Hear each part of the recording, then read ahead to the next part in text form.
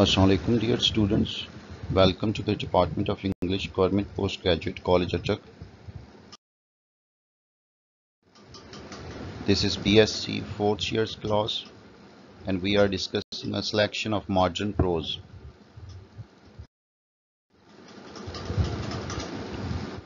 Now today we would discuss the last part of The Damned Human Race by Mark Twain.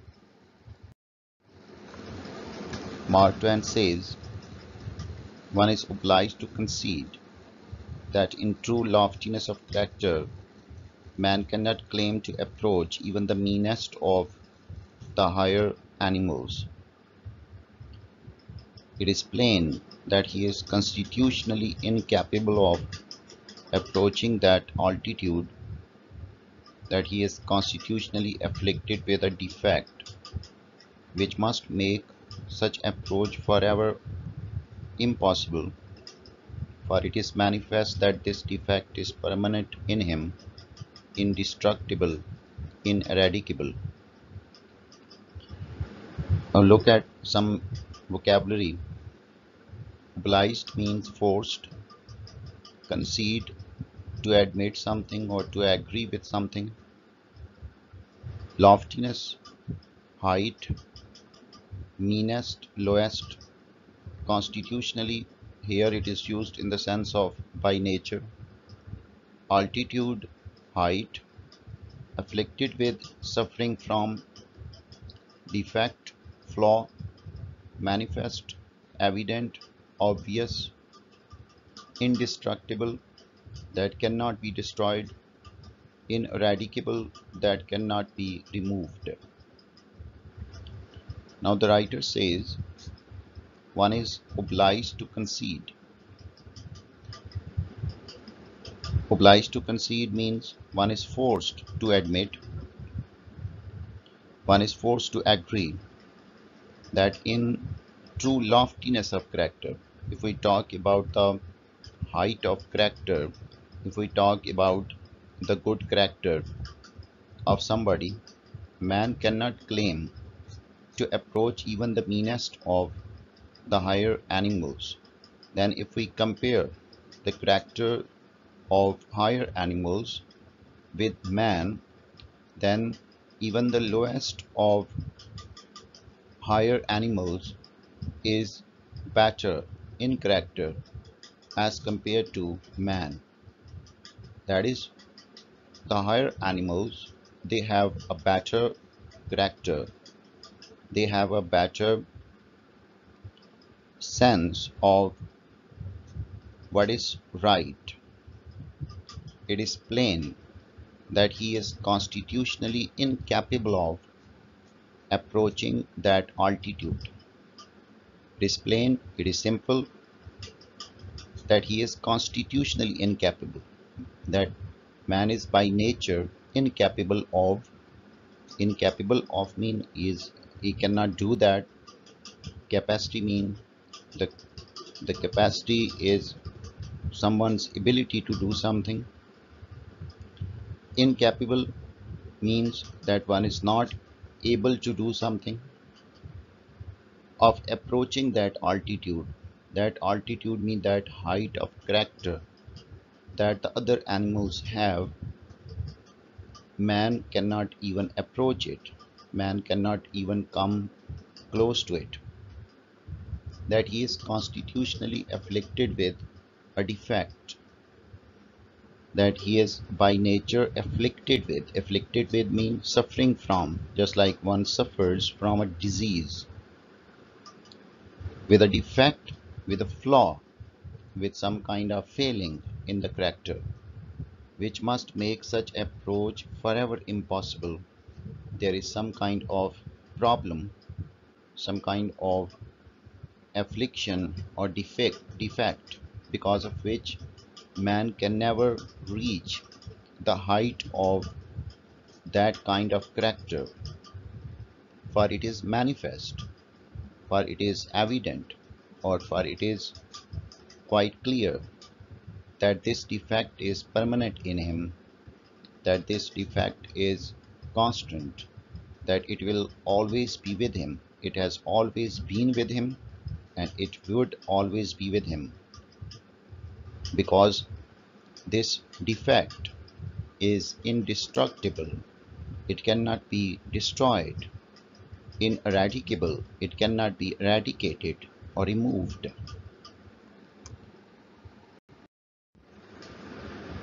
I find this defect to be the moral sense. Moral sense is one's ability to distinguish between right and wrong. According to the writer, all the higher animals, all the other animals, they do not have this ability to distinguish between right and wrong. Only man has this concept of right and wrong. At the theoretical level, this ability should have made him better. But we see in history that this ability has made him worst. He is the worst amongst all the animals. Despite having the knowledge of good and bad, he always in more in most of the cases he always does the bad the evil things therefore the writer says that the moral sense the ability to distinguish between right and wrong is not a good quality because this good quality is not present in the other animals and they behave in a better way. The writer says he is the only animal that has it. In amongst all the animals, man is the only animal that has this moral sense. It is the secret of his degradation and basically this is the secret of his fall, his degradation, his low status. It is the quality which enables him to do wrong. Now this quality it was supposed to make him do good. But in history we have seen that how man has used this to do evil. It has no other office. Office here it is used in the sense of function. That this this quality, this moral sense, it has no other function but to enable man to do evil. It is incapable of performing any other function and this quality, it cannot perform any other function. It could never have been intended to perform any other. Intended means supposed to, here it is used in the sense, otherwise intention is somebody's uh, somebody's idea to do something now he says that in the first place it was this quality of moral sense. It perhaps it was intended not to perform any other function. It was supposed to perform this function to make man evil. Without it man could do no wrong. And if man does not have it perhaps he would not commit the wrong, he would rise at once to the level of the higher animals. And then this, because of the absence of this quality, he would be able to rise at the level of higher animals. Since the moral sense has the one office, the one capacity to enable man to do wrong, it is plainly without value to him. The writer says that this moral sense, it does not have any positive function. Its only function is to do evil. Therefore, we should, it is of no value to human beings. It is as valueless to him as is disease. Just like a disease in our body, is valueless to us. It does not have any value. It does not perform a positive function. Similarly, this moral sense is also a kind of disease. In fact, it manifestly is a disease. Manifestly, clearly, it is a disease. Rabies is bad, but it is not so bad as this disease. Rabies is a disease in amongst dogs when dogs become mad. So this and basically it is a disease that is transferred to human beings if they are bitten by a dog that is afflicted with this disease.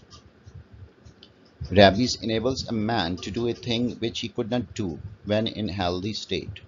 When in a healthy state, when a man is bitten by such a dog, he would start behaving in a strange way. Normally, in a normal state, he would never do that, and his mind is affected by it. So, Similarly, he this moral sense is like rabies. Kill his neighbor with a poisonous bite, and such a man who has rabies, he would go and bite somebody, and he would also have that disease. No one is the better man for having rabies, and as no one is a better man if he has rabies, similarly, no man should have this moral sense. The moral sense enables a man to do wrong. According to the writer, the moral sense it enables a person not to do good but to do bad, to do evil things. It, it enables him to do wrong in a thousand ways.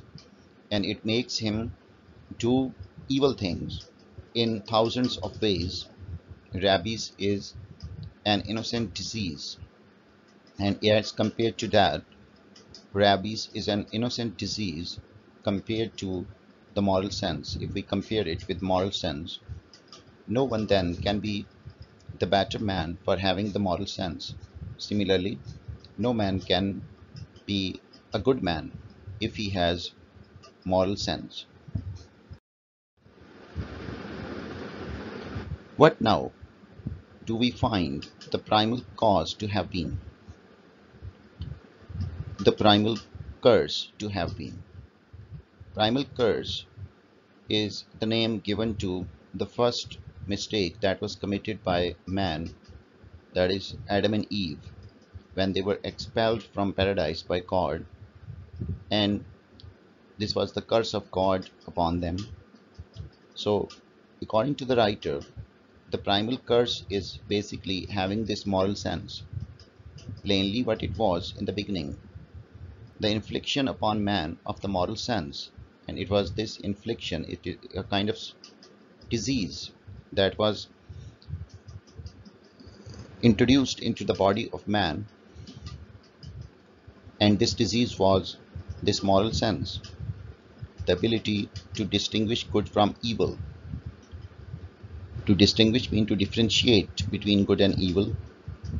And with it necessarily the ability to do evil. And with it uh, and when this ability it was introduced into man's body it also brought with it the ability to do evil for there can be no evil act without the presence of consciousness of it in the doer of it and as there can be no evil if the person who is committing it is not conscious of it or does not have a knowledge of it. And so I find that we have descended and degenerated. Descended and degenerated means it declined, came down from some far ancestor. And if we talk about evolution, our ancestors, the higher animals, they were our forefathers, they were better as compared to us, some microscopic atom wandering at its pleasure between the mighty horizons of a drop of water perchance. And life as it begins on earth, that it was a result of some atom, some microscopic atom that was wandering at some inner drop of water and that atom or that cell it gave birth to life insect by insect and that is how life was transformed into more complex animals. It was turned into insects animal by animal reptile by reptile down the long highway of smirchless innocence. Smirchless mean without stain without blemish totally clean. And then on from the top of the higher animals below the more life developed this moral sense it came to be developed in the in human beings. And because of that they lost that innocence till we have reached the bottom stage of development. And then we reached at the bottom nameable as the human being. And that bottom is called human beings. Below us nothing. And below us there is no other in if we compare ourselves with higher animals then because of our capacity to do evil we are lower as compared to them. And below us there is there are no other animals. That is the end of the chapter. In our next lecture we will discuss the exam questions. Till then take care